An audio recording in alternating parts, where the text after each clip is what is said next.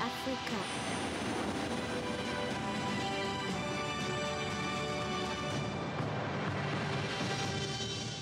Ladies and gentlemen, please welcome Mesdames et messieurs, veuillez accueillir donc John Quelch, Charles E. Wilson, professeur à l'Université de Harvard.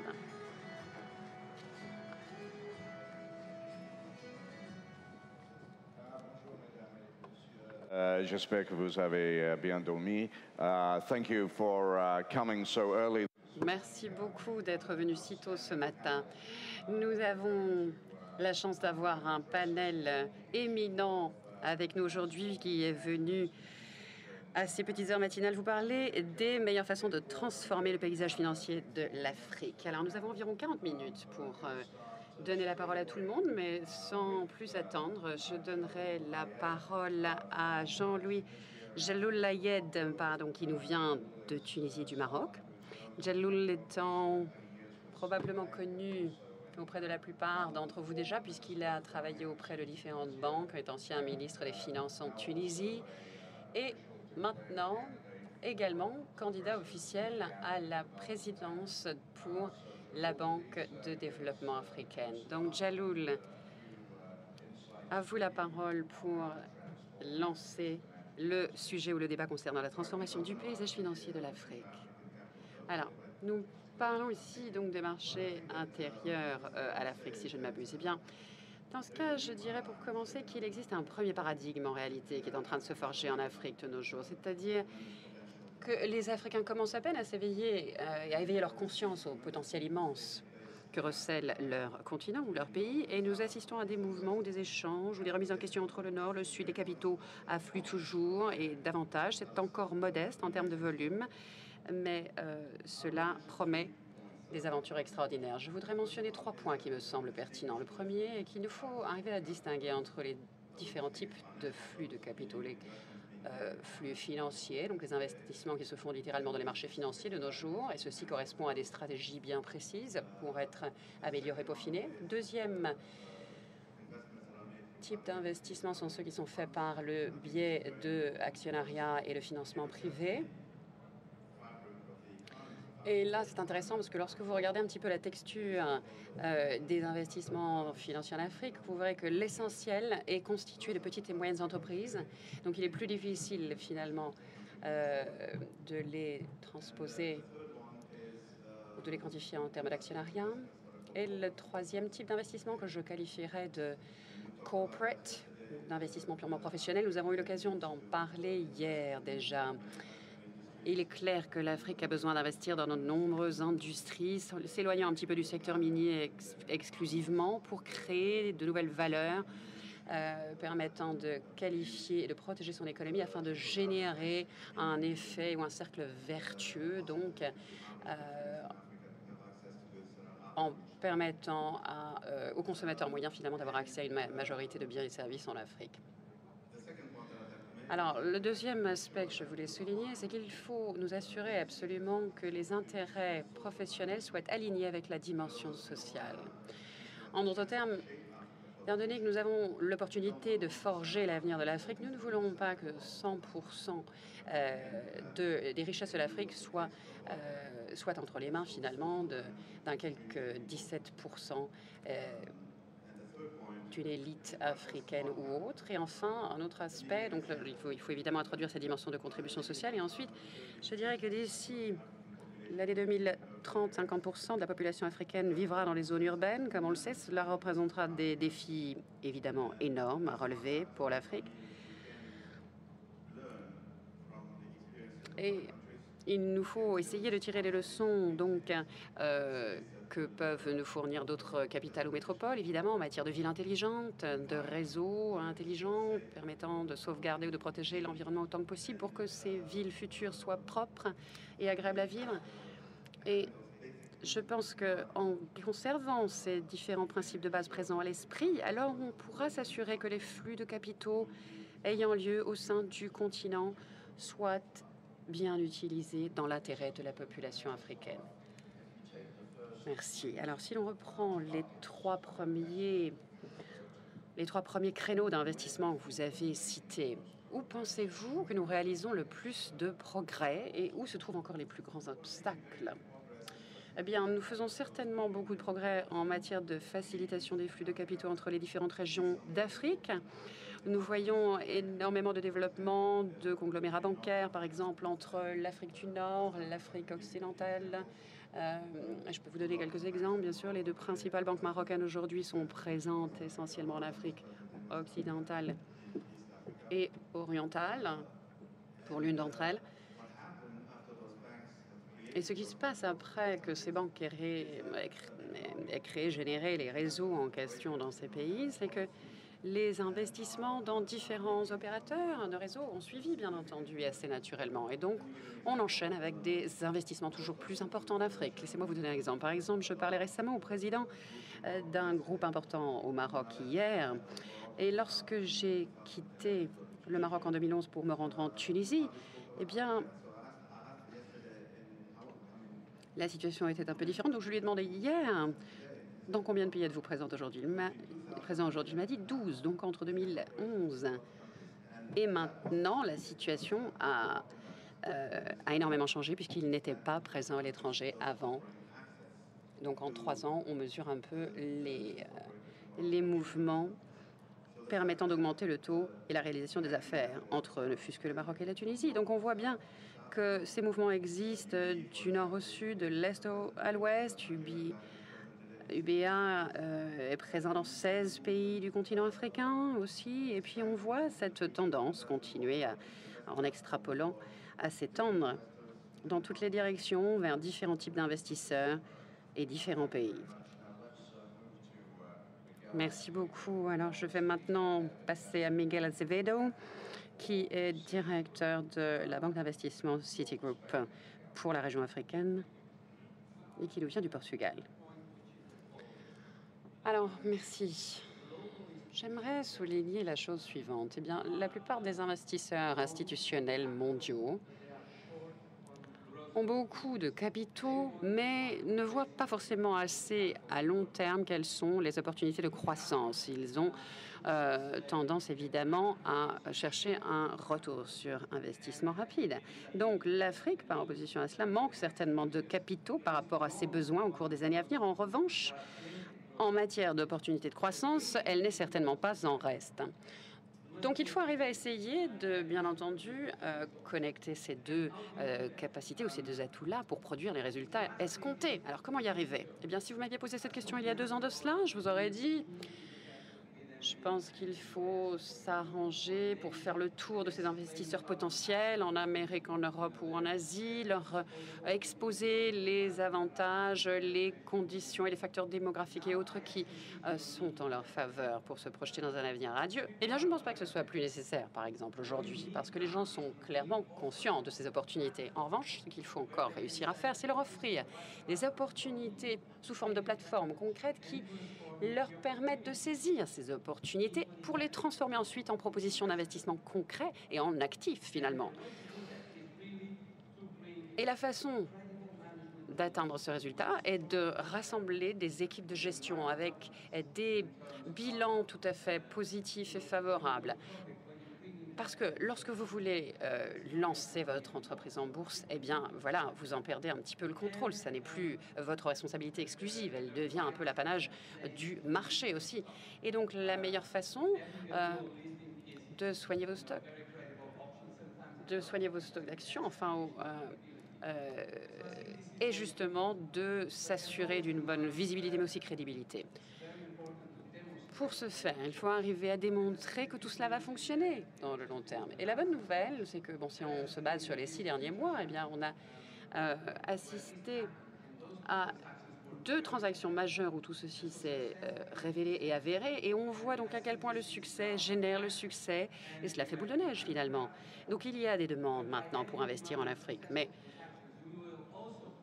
pour s'assurer que ces demandes se traduisent en en actes concrets et positifs, il faut, convertir, convaincre les investisseurs et s'assurer que le résultat net, finalement, est effectivement d'obtenir les capitaux à bon escient et au bon moment. Alors, quels sont selon vous les principaux obstacles encore pour aller plus avant dans ce processus de tomber les masques et les obstacles en matière d'opportunités d'investissement, les différents portefeuilles existants et lorsqu'on veut séparer le bon grain de l'ivraie? Qu'est-ce qui distingue finalement les investissements valables et crédibles des autres? Je pense que c'est certainement le principe de bonne gouvernance. Voilà, ça se résume en un mot. Pour attirer des retours économiques euh, abondants, euh, là, on n'a euh, on n'a que l'embarras du choix finalement. Mais en revanche, l'attitude positive, le package de principes de gouvernance positifs, euh, garantissant la sécurité, l'état de droit, euh, les notions de responsabilité sociale, c'est ça qui fera la différence. Et lorsque l'on rencontre les investisseurs, finalement, en phase de négociation, c'est cela qu'on passe son temps à, devoir faire, convaincre euh, ses interlocuteurs. Merci. Alors maintenant, Colin Coleman, qui est parmi nous aussi et nous vient de Goldman Sachs pour la deuxième fois cette année. Comment qualifieriez-vous le climat des investissements internationaux? Eh Bien, commençons tout d'abord ce matin par dire qu'au moment où nous parlons, le président Zuma, comme vous le savez, euh, procède à son inauguration et euh, j'ai dû m'excuser parce que euh, la perspective de contrarier Richard Atia, c'était bien pire, bien entendu, que d'expliquer au président Zuma que je m'étais engagé à participer au séminaire de Richard avant. Donc voilà, c'est pour ça que je suis là avec plaisir, Richard, parmi les membres de ce panel. Alors, la première question donc, que vous me posez, en, gros, c'est de voir un petit peu comment, quelles sont les meilleures conditions pour investir en Afrique. Il y a beaucoup de gens qui se concentrent sur l'Asie ou ailleurs, alors que je pense que les flux et les affaires hein, live euh, qui ont lieu en ce moment même en Afrique se concentrent beaucoup justement euh, dans le secteur bancaire. C'est intéressant parce que lorsque j'essaye de démanteler un petit peu, d'analyser les personnes impliquées par ces transactions, eh bien, je mettrai tout de même les investisseurs euh, ou les actionnariats privés au sommet de la liste. Ce sont ceux qui génèrent tout de même le plus de flux de capitaux financiers. La raison en est tout simplement que ça fait tout de même dix ans qu'on a lancé, entamé ce processus en Afrique, et donc la dynamique et le moment euh, est lancé et donc il faut aussi bien rentrer que sortir euh, ces investissements ou ces capitaux. Donc cela euh, génère un cercle de vente et euh, d'achat d'actions qui sont particulièrement intéressantes et dynamiques. Le second facteur, c'est peut-être que la, consolidation dans certains secteurs, par exemple en télécommunication, est un facteur novateur qui génère aussi énormément d'augmentation de capital. Alors, pour ceux d'entre vous qui suivent l'affaire euh, Tower Space, eh bien, il y a énormément de contrats dans lesquels Goldman Sachs a investi euh, directement, notamment pour l'une de ces tours. Et l'autre aspect, Troisièmement, ce sont les investissements en effet de nature purement professionnelle, Tiger Brands et d'autres banques plus commerciales, entre guillemets, qui investissent, comme le disait mon collègue de Tunisie finalement. Cela se produit essentiellement de manière subrégionale d'une partie du continent à l'autre, par exemple. Alors, là-dessus, je rajouterai un commentaire simplement. Bien entendu, certaines entreprises, notamment sud-africaines, sont euh, très active, notamment donc euh, en Afrique occidentale, mais aussi orientale, que ce soit dans le domaine des assurances, du marché des assurances ou bien des infrastructures, etc. Et on assiste à beaucoup de mouvements dynamiques qui viennent ensuite être rehaussés par les investissements ou les capitaux étrangers du Brésil, de la Chine euh, ou d'autres influences étrangères. Donc de plus en plus de gens songe à investir dans les actifs euh, africains qui n'y aurait même pas pensé il y a quelques années de cela. Je ne sais pas si on peut euh, attribuer ce succès à Richard ou est-ce que ce sont les efforts intrinsèques et fondamentaux des euh, pays de la région. Mais en tout cas, ce qui est certain, c'est que nous avons encore besoin de croissance économique accélérée en Afrique, parce que pour l'instant, le développement est encore, si je puis me permettre, un stade immature. Alors vous allez me demander quelles en sont les faiblesses. Eh bien, les premières sont institutionnelles. Dans chaque pays, l'habilité ou la capacité de chaque gouvernement à conduire ces transactions et ces opérations de développement économique euh, dans le secteur énergique ou autre sont les principales étapes à franchir, je dirais, pour accélérer cette croissance. Merci. Super. Alors, on passe ensuite à Jean-Louis Ekra, qui est président d'Afreximbank en Égypte. La parole est à vous. Merci, John.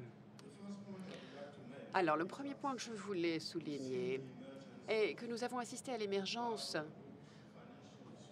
de groupes financiers énormes, d'institutions indigènes sur le continent vous preniez le cas de l'EcoBank, de BGFI euh, ou la Banque d'Afrique et autres, nous assistons maintenant à l'émergence de conglomérats ou de groupes encore plus importants. Et ces conglomérats devraient être à même de contracter ou de faire des affaires encore plus importantes. Malheureusement, ils sont confrontés encore à de nombreuses contraintes, notamment parce que les financements sont encore trop modestes, sont encore euh, trop courts. Il y a donc d'une part des améliorations à faire de ce point de vue-là. Récemment, très récemment, notre institution a pu organiser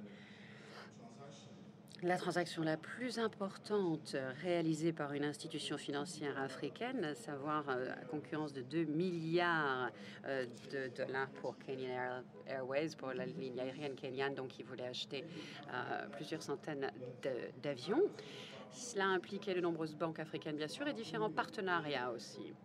Alors moi, je rêve bien sûr du jour où nous pourrons rassembler les économies des différents fonds de pension, fonds, de pension de retraite, etc., pour pouvoir les réinjecter dans ce genre d'investissement vertueux.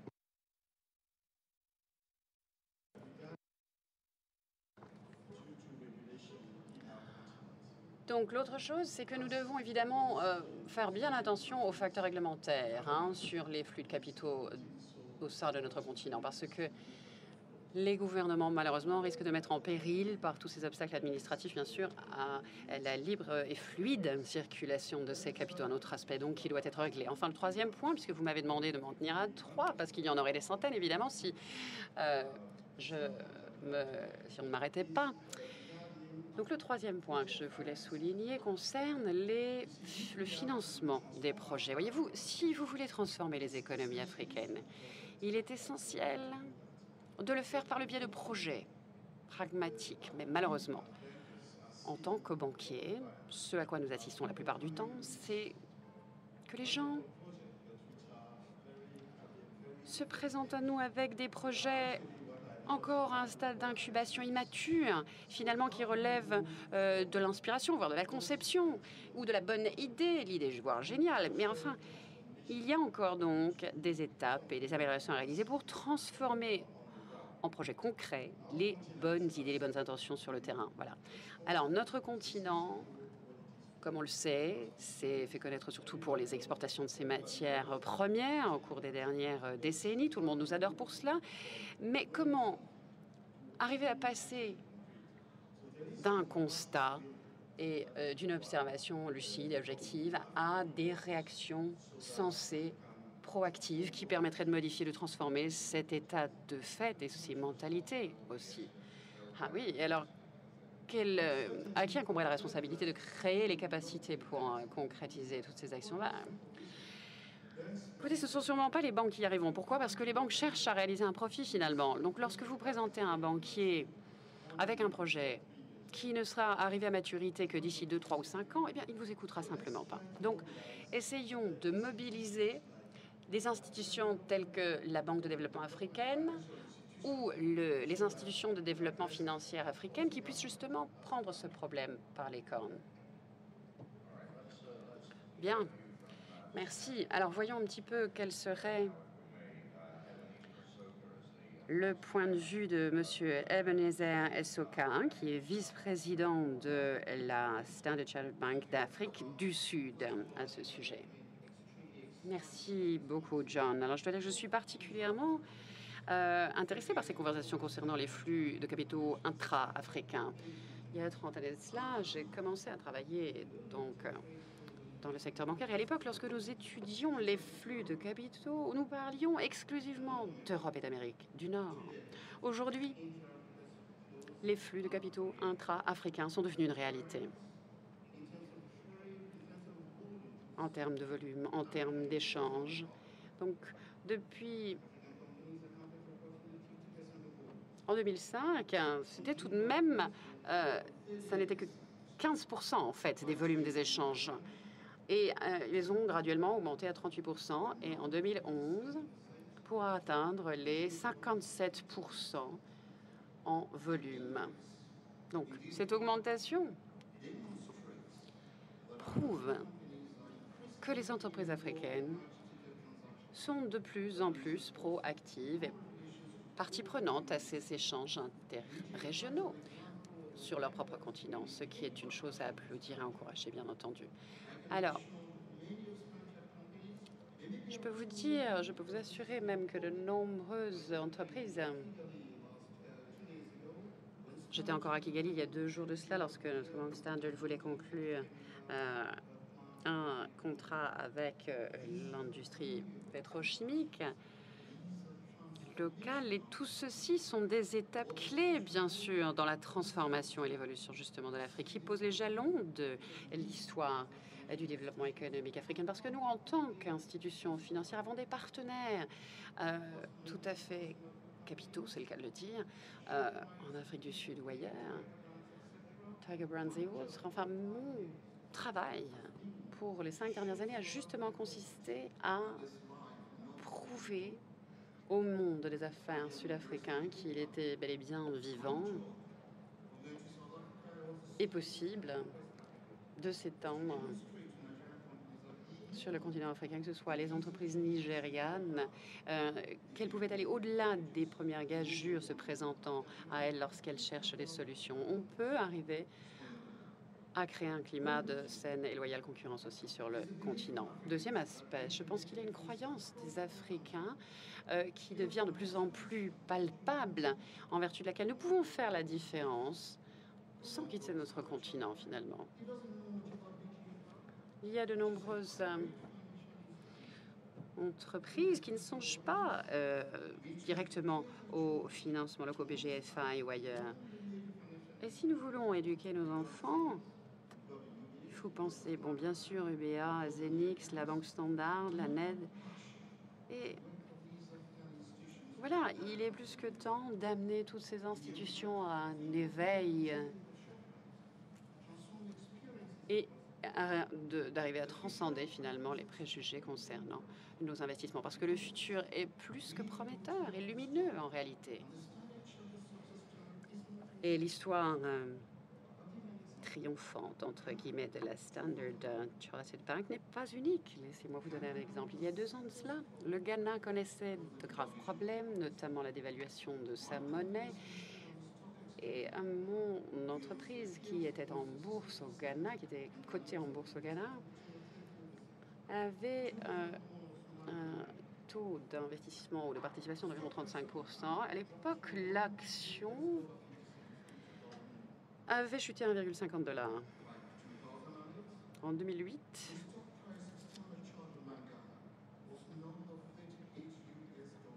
son prix avait monté à 38 dollars.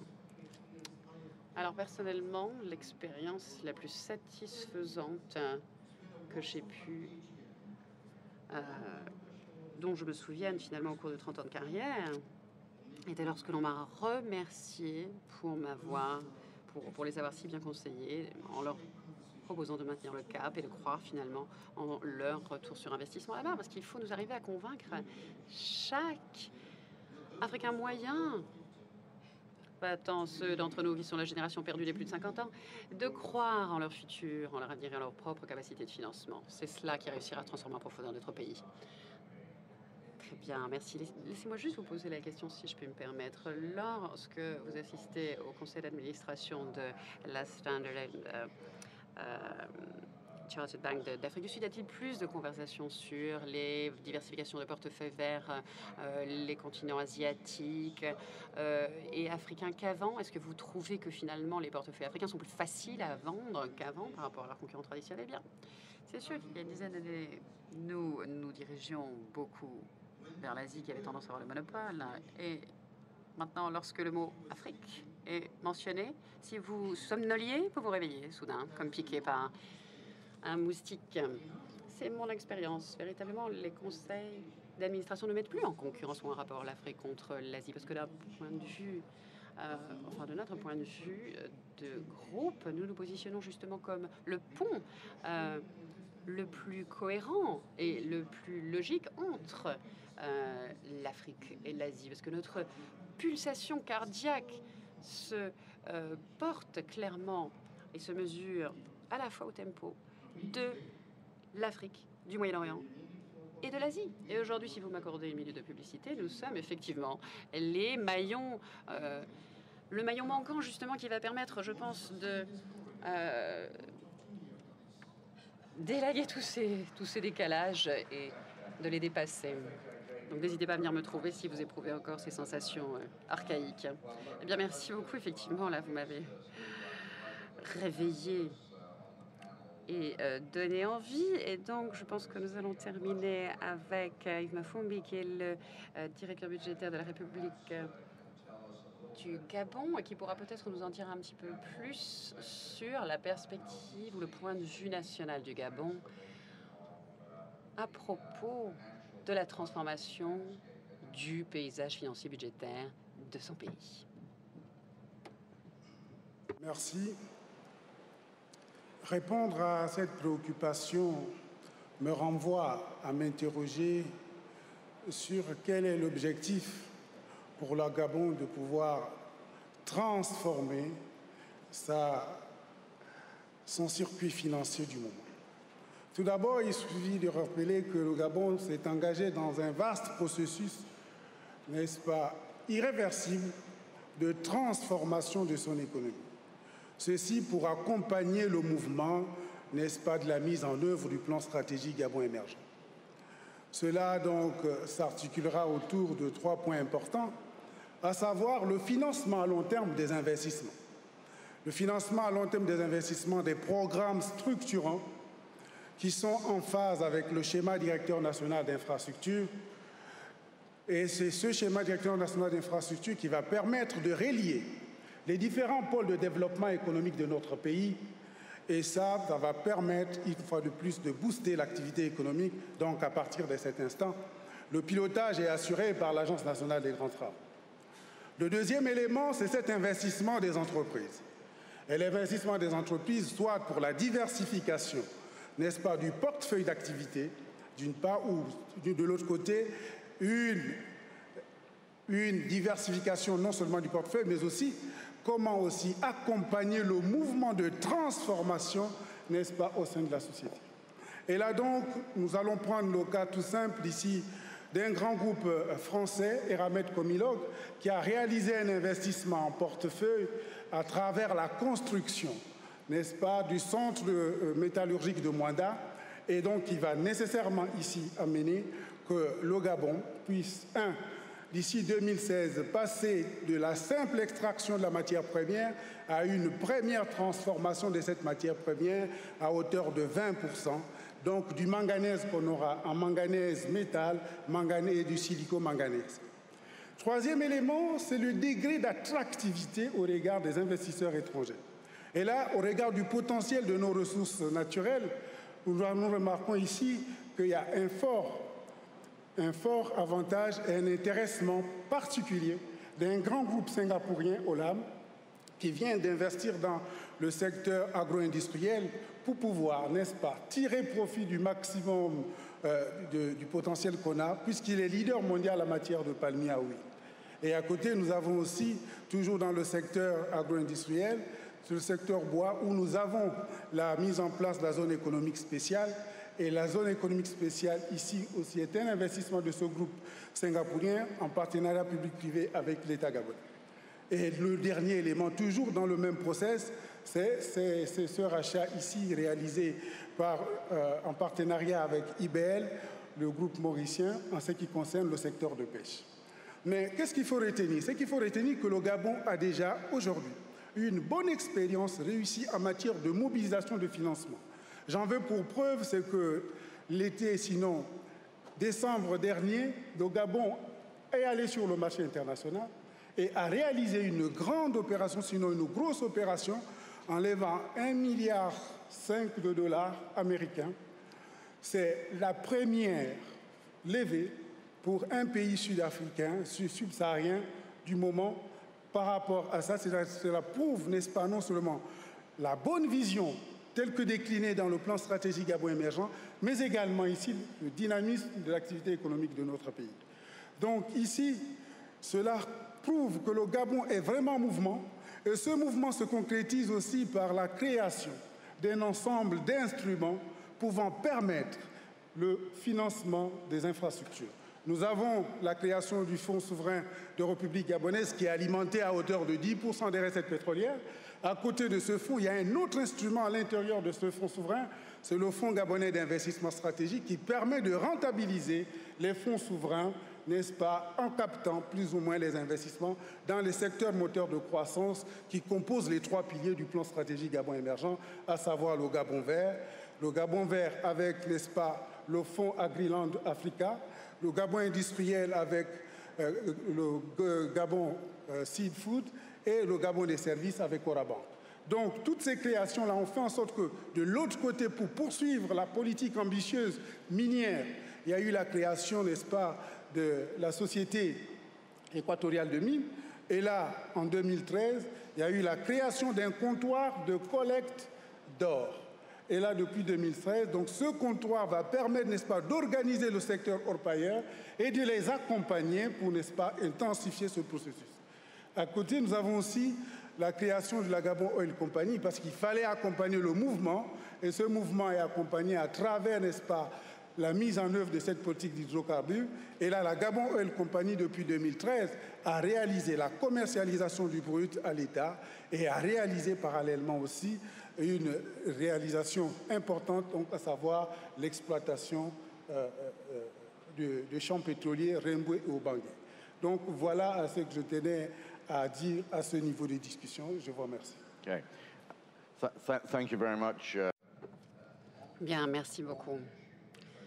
Alors, je crois que justement, la question concernant les obligations était déjà très impressionnante, en effet. Euh, pouvez-vous nous dire exactement où ces obligations, par exemple, ont été acquises ou lancées? Quelles institutions, quels pays se sont engagés par rapport à ce marché des obligations?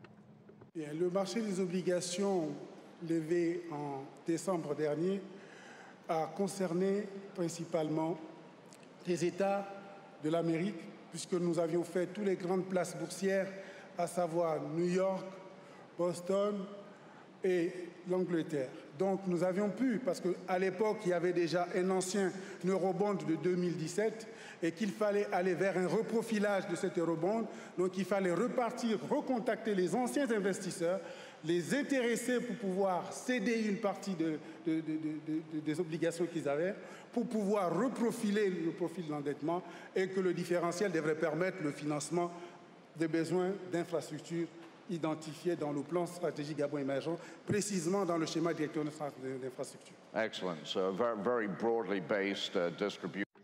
Donc effectivement une distribution géographique assez élargie, formidable. Alors enfin, euh, l'une des questions souvent qui se posent euh, en rapport avec l'Afrique concerne bien sûr les places boursières, également la gestion euh, et la, supervision de ces échanges. Et nous avons la chance d'avoir Raphaël Tonsui, qui est président justement de la commission des euh, actifs et des échanges d'Afrique centrale. Raphaël, pourriez-vous brièvement nous donner votre point de vue sur cet état des choses? Je vous remercie. Euh, permettez-moi aussi de remercier euh, les organisateurs pour avoir associé le marché financier euh, de l'Afrique centrale à ce débat. Je voudrais aller en prolongement de ce que vient de dire le précédent intervenant. en ce qui concerne justement la mobilisation des fonds à travers les marchés financiers. Dire que jusqu'à présent, on sait très bien que euh, les, euh, les, investissements en Afrique sont essentiellement financés, on va dire, par, les banques. par les banques classiques. nous l'avons vu tout à l'heure avec les différents intervenants qui qui ont parlé avant, avant moi. Mais malheureusement, les banques, à elles, à elles seules, ne suffisent pas. On s'aperçoit que euh, ces banques euh, ont une, un potentiel assez faible pour pouvoir atteindre l'ensemble du marché, notamment parce que euh, lorsqu'on regarde les ratios de les indicateurs, aujourd'hui, on, on, le voit clairement moins de, euh, moins de 10% en fait du système bancaire et euh, euh, atteint, atteint, les investissements attendus. Donc, on, peut conclure très facilement que les banques, à elles, à elles seules, ne suffisent pas aujourd'hui pour financer les économies. Il faut donc que le marché financier, d'une manière ou d'une autre, intervienne. Or, en Afrique, on s'est rendu compte quand même qu'après euh, une bonne dizaine d'années, euh, les marchés se sont développés. On est parti à peu près d'une dizaine de, marchés, boursières dans les années 90 pour aujourd'hui atteindre à peu près une vingtaine de places. Ces, marchés ont permis euh, la mobilisation de fonds énormes, mais qui ne sont pas encore suffisants, on le sait. À peu près un peu plus de 10 milliards de, dollars ont été mobilisés euh, euh, euh, par, les marchés. Les fonds, on va dire la, capitalisation des bourses est passée à, à peu près 200 milliards de dollars à un peu plus de 700 milliards de dollars. Mais toujours est-il que ces chiffres, qui sont encourageants, restent encore très en deçà de ce qu'on connaît dans les marchés les plus développés. On a à peu près à peu près 30%, euh, 30 euh, de, j'allais dire, de capitalisation par rapport au PIB pour ce qui est des pays euh, d'Afrique subsaharienne. Et donc, il y a beaucoup de défis à relever, en particulier, plusieurs d'entre euh, de, ces orateurs l'ont dit tout à l'heure, qu'il faut élever la culture financière, élever la culture boursière.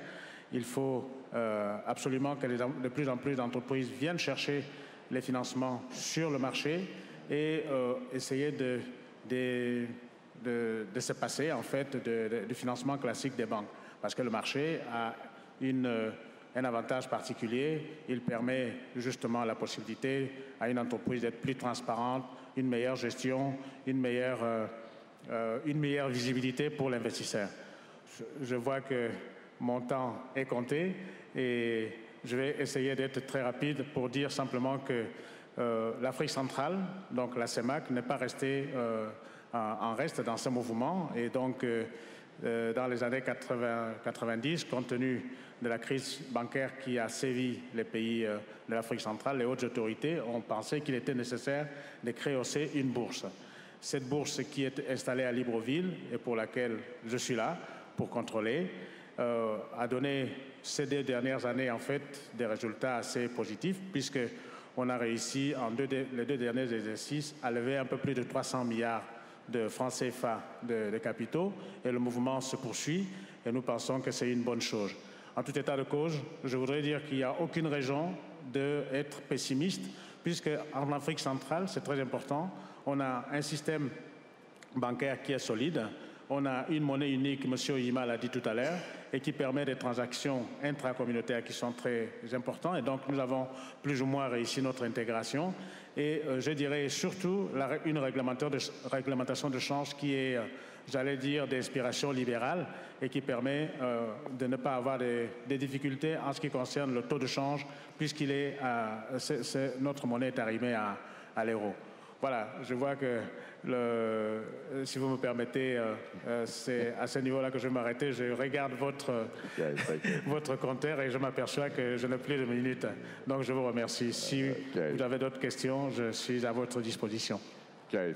Thank you very much. Oui, merci beaucoup.